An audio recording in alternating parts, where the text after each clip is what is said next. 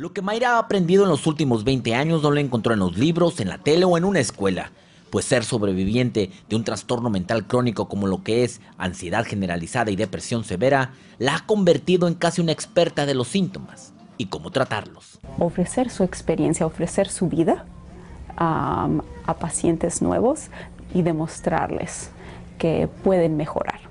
Como Mayra, solo uno de cada diez hispanos reciben algún tipo de tratamiento para condiciones severas o crónicas de salud mental, debido a la falta de conocimiento de los beneficios y la vergüenza de hablar con un terapeuta extraño acerca de su estado emocional. El temor era de que me dijeran que, entre comillas, que estaba loca.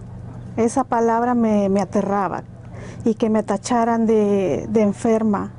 Por eso Mayra se ha convertido en el puente entre su comunidad y los proveedores de salud mental. Su experiencia de padecimiento y recuperación brinda confianza y esperanza a hispanos con trastornos mentales.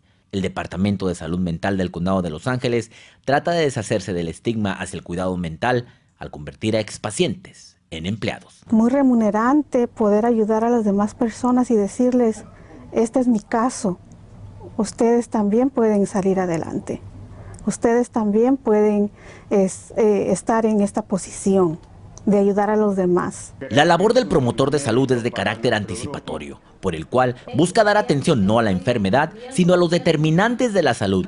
A partir de ahí, aspira a aprovechar todos los momentos de contacto que tienen los servicios de salud a través del promotor de salud con la gente en las distintas etapas de su vida.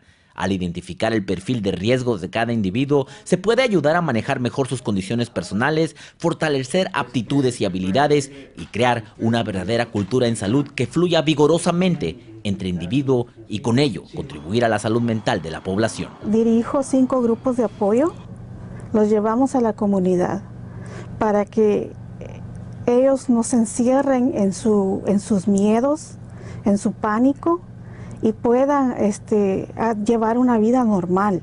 El Condado de Los Ángeles cuenta con expacientes convertidos en promotores de salud que pueden apoyarlo a usted o a un ser querido a recibir el tratamiento necesario. Recuerde, si cuida su mente, cuida su vida. En Los Ángeles, Julio César Ortiz Noticias, Univisión 34.